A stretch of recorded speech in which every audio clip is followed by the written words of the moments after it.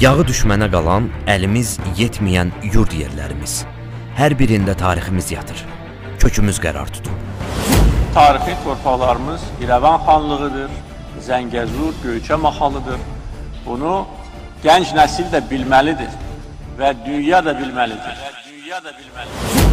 O kənd bizim kəndimizdir.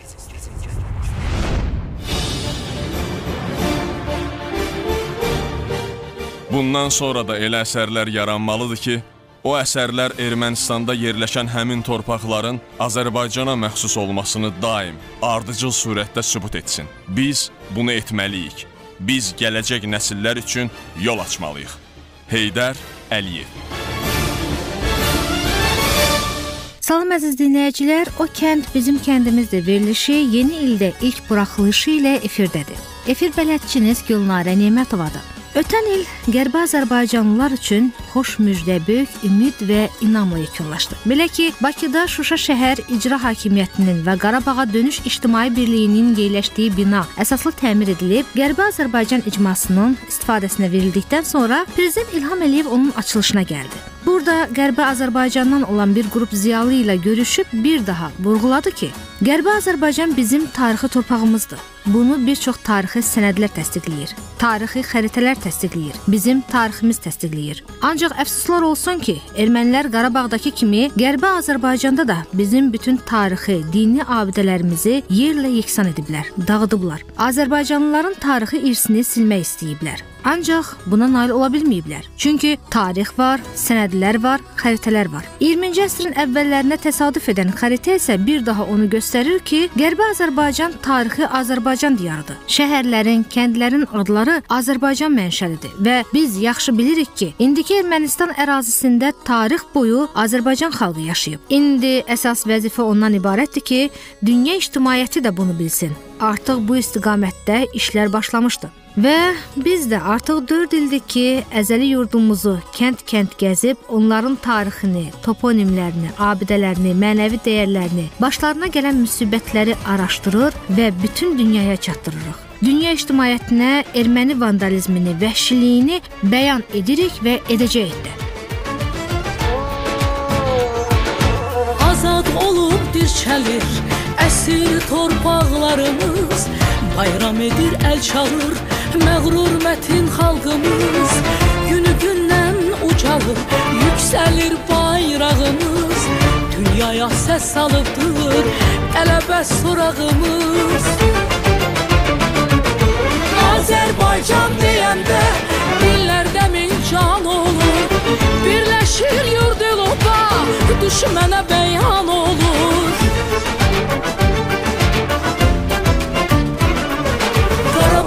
torpağında Xar bülbül əlvan olur. Ətri gəlir hər yandan Qurtuldu yağılardan Su qovuşamaq qovuşandan Dərdlər axıb çay olur Cənnətə bir tay olur.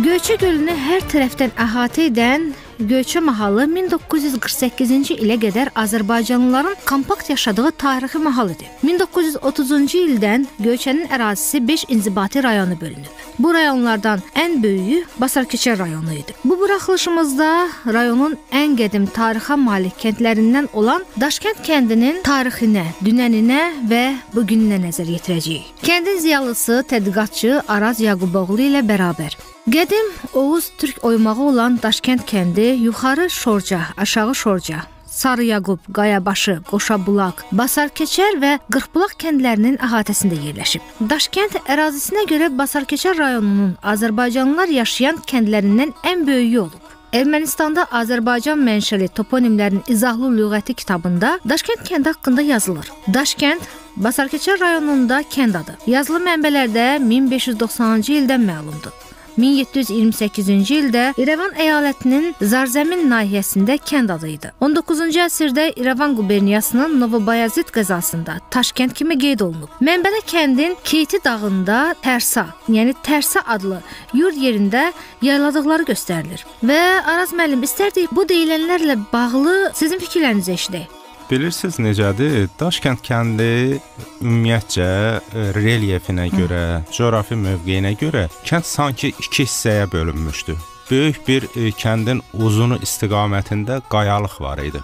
Hətta toponimlərdə belə bir toponim var. Qayanın altı, qayanın üstü deyilir. Hı -hı. Misal üçün e, bir kimsə kimdən soruşanda ki, sizin eviniz hardaydıq? Deyir qayanın altı məhəlləsində və ya qayanın üstündə. Ona görə bir çox tədqiqatçılar həmin o qayalıq, daşlıq olduğuna görə Daşkənd adlandırılmasına üstünlük verirlər. Hı -hı. Amma bəzi tədqiqatçılar var ki, qeyd edirlər ki, daş və kənd sözləri uzaq anlamında, deyək ki, bir mahalın, bir bölgənin kənarında yerləşən, mərkəzdən uzaqda olan bir kənd anlamında, yəni o anlamada gəlir. Aha. Amma bütün tədqiqatçıların tədqiqatlarından çıxartdığımız ümumi nəticə odur ki, Daşkənd kəndinin adı elə həmin o daşlıq, qayalıq, həmin ondan götürülübdür və Daşkənd adlandırılıb.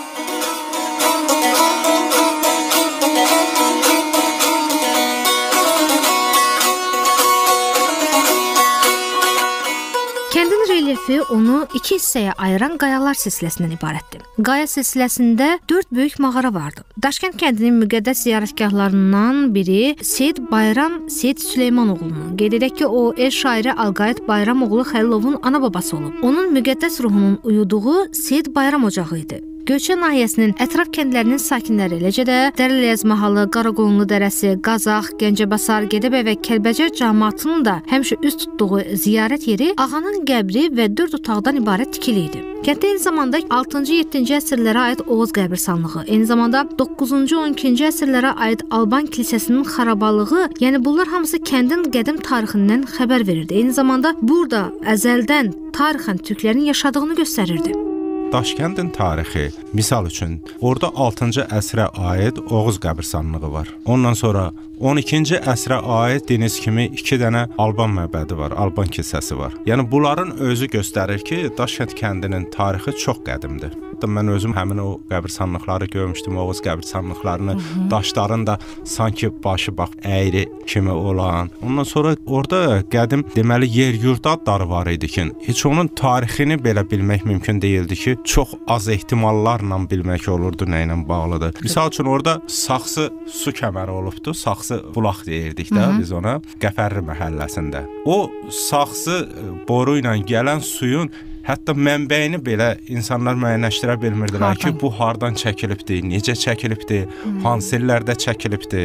Bizim eranın ən əvvəllərinə gedib çıxan bir tarixdir bu tarixlər. Daşkənd haqqında yazılı mənbə, yəni Daşkəndin adının çəkildiyi yazılı mənbə İrəvan əyalətinin müfəssəl dəftərində 1590-cı ildə qeyd olunubdu. Oradakı Göyçə mahalında Daşkənd kəndinin adı orada qeyd olunubdu. Türklərin hazırladığı müfəssəl dəftər. Hmm. Həmin müfəssəl məhsəl dəftərində orijinalları Türkiyədə saxlanılır.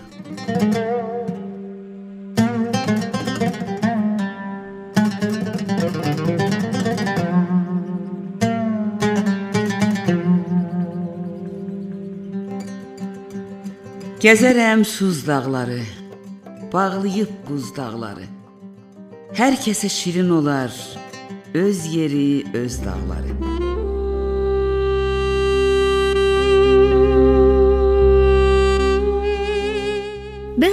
Mənbələrdə qədim tarixi olan Daşkənd kəndinin 14-cü əsrin sonunda, yəni 1387, yəni 1388-ci illərdə yarandığı yazılır. Daşkənd kəndinin sakini 130 il ömür sürmüş Hacı Məhəmməd kişinin dediyinə görə isə kənddə ilk məskəni Gəncə bölgəsindən gələn Hacı Hüseyn adlı dövlətli kişi və onun qohumları salıb o hadisə əslində belədir. Yəni o Hacı Məhəmməd kişi uzun ömürlü olduğundan deyək ki, bizim dədə-babalarımız onları görüblər. Həmin ondan soruşublar. Hani o danışırmış Hı -hı. o informasiyaları. Onun da hardasa 130-a qədər yaşı var imiş də. O danışırmış ki, bəli siz dediyiniz kimi ki, Hacı Hüseyn adlı Gəncə Qazax bölgəsindən bir nəfər gəlir Göyçə mahalına. Özünə yer yurt axtarır ki, yəni harda yaşaya Məsələn. bilərəm, harda heyvan saxlamaq olar, örüşlər harda boldu, su harda boldu.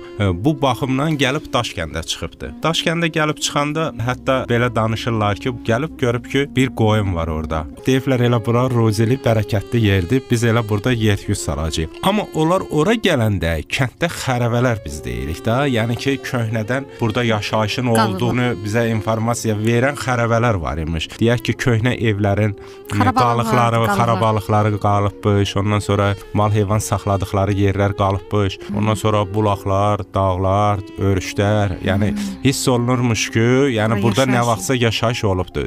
Bunlar hamısı göstərir ki, Daşkənd kəndinin tarixi çox qədimdir. Qədimdir. İnanın ki, bəlkə də hələ ondan da qədimdir. Vətən ey mənim anam Sən oldun odlara yanan Könlüm kimi viran olan Gülünü sevdim vətənim Vətənim, vətənim mənim sirdaşım Hər gidim qardaşım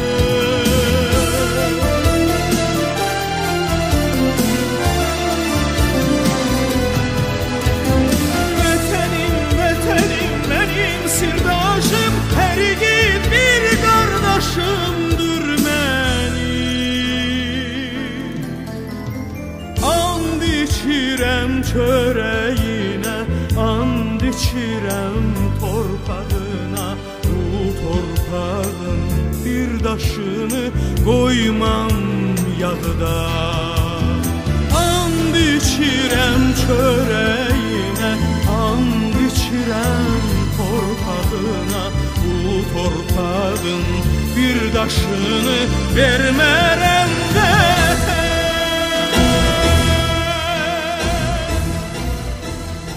Araz müəllim deyirlər ki, kəndinizin ərazisi Qazax mahalının oturaq və yaylaq yerləri olub. Demək, ümumən Göyçə mahalı tək Daşkənd yox, Göyçənin bir çox kəndləri Gəncə Qazax bölgəsinin yaylaq yerləri olublar. Deyək ki, yayda orada mal heyvanlarını saxlamaq üçün yaylayırlarmış, qışda enirlərmiş aran deyək də. Yerləri. bəli, Gəncə düzənliyinə, Qazax düzənliyinə belə yenirlərmiş. Bir müddət olubdu ki, artıq orada bayaq da danışdığımız kimi məskunlaşma olubdu, məskunlaşıblar. Bu məskunlaşmadan da qabaq orasında qeyd edim ki, müəyyən bir dövr olub ki, bir 30 il, 40 il deyək, müharibələrlə əlaqədar insanlar oradan köçüblər, köç eləyiblər. Yəni belə deyək də bizim ulu babalarımızdan əvvəlki insanlar oradan köç eləyiblər. Sonralar bu insanlar bizim ulu babalarımız burada yerləşiblər və biz bu dediklərimiz hamısı kameral təsvirlərdə də qeyd olunur. Misal üçün illərlə qeyd olunur ki, hansı ildə Daşkənddə neçə ailə yaşayıbdı, hətta hər ailədə neçə adam olubdu, ərazisi nə qədər olub, əkin yeri nə qədər olubdu, heyvanları nə qədər olubdu, adba-ad bunlarda hamısı qeyd olunubdu. Bunlar hamısı Daşkəndin və Göyçənin tarixi ilə bağlıdır. Və misal üçün mənim özüm nəsil şəcərələrindən bağlı çox araşdırmalar aparıram və onları toplayıram. Ağsaqqallardan hamısından mən söhbət eləmişəm. Biz deyək ki, Daşkəndə Qazax qəzasından gəlmişik. Bəs soruşuruq ki, daha ulu babalarımız hardan olubdu? Deyə Sulduz mahalından olubdu. Demək belə çıxır ki, Sulduz mahalından bu insanlar gəliblər Qazağa, sonralar Qazaxdan Göyçəyə deməli köç ediblər və orada məskunlaşıblar. Amma bu dediklərimiz kəndimizin tarixinin, yəni daha yaxında olması demək deyil. Anladım. Yəni bu o anlama gəlməsin.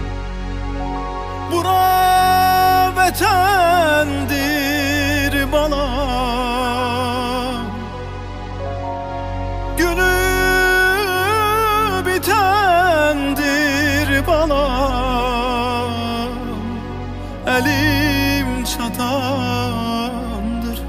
Ünüm yetəndir Bura vətəndir Bura vətəndir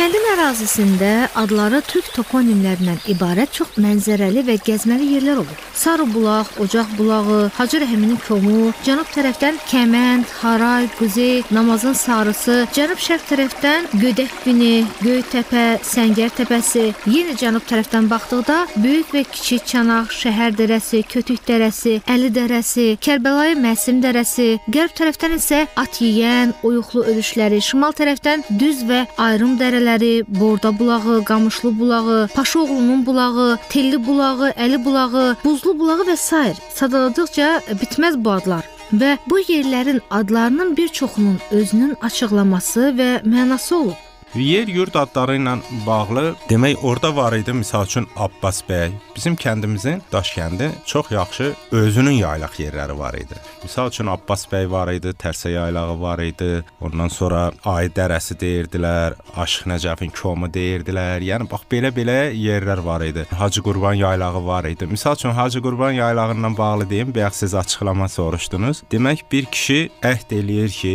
mən gedib Məkkəni, Mədinəni, Kəbəni ziyarət eləyəcəm və sağ-salamat qayıdaramsa, əhdimə nail olaramsa, gəlib burada qurban kəsib paylayacağam. Həmin kişi gedir, ziyarət eləyir və qayıdıb gələndən sonra orada bir neçə dənə qoyun, hətta öküz kəsib orada cəmaata qurban paylayır. Həmin hadisədən sonra oranın adı qalıb Hacı Qurban. Gözəl bir yaylaq idi. İnsanlar misal üçün mal heyvanlarını orada saxlayırdılar. Gözəl təbiəti var idi, gözəl bulaqları var idi. Ondan sonra hətta o yaylaqlardan Daşkəndə içməli su çəkilmişdi. Misal üçün Qocaman bulağından hardasa 8-10 kilometr aralıdır kəndin mərkəzindən. Yəni, su çəkilib gətirib Daşkəndi içməli su ilə belə Təmin eləmişdilər. Digər misal üçün çaylar var idi, göllər var idi, Xıram çayı var idi. Çox sulu bir çay idi. Gedib Göyçə gölünə tökülürdü. Dərmanlar var idi. İlanlı var idi. Biz ora İlanlı deyirdik. O İlanlıda bir göl var idi. Kiçik bir göl idi, amma misal üçün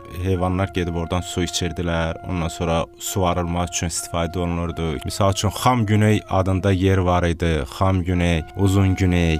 Misal üçün uzunluğuna görə Uzun Güney deyirdilər. Demək, xam bilirsiniz də, məhsuldar bir yer deməkdir. Xam torpaq. Güneyin deyir otunu heyvanlar nə qədər otlayırmışsa bitmirmiş orada ot. Yəni Münbit o olur. dərəcədə hə münbit bir məhsuldar bir yer idi. Ona görə ora insanlar xam güney deyirdilər. Ondan sonra xırdalar deyirdilər, xırmanlar deyirdilər, keçid var idi, kəvəhli var idi. Yəni yüzlərlə belə adlar var idi. Gəzərəm suz dağları, bağlayıb buz dağları. Hər kəsə şirin olar öz yeri, öz dağları.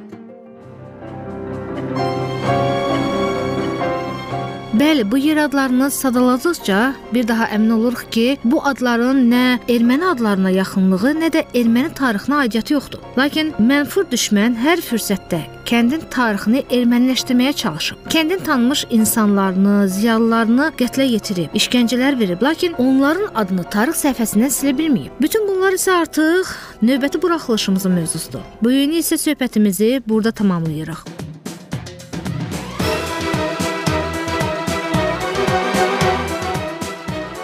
Siz o kənd bizim kəndimizdə verilişini dinlədiniz. Həmsöhbətimiz Göyçə mahalının Daşkənd kəndinin ziyalısı, tədqiqatçı Araz Yaquboğlu. Verilişin müəllif aparıcısı Gülnarə Nimətova, rejissoru Ramin Həzərxanoğlu, redaktoru Bəxtiyar Bəxtiyarovudur. Sağ olun, gələn görüşədək.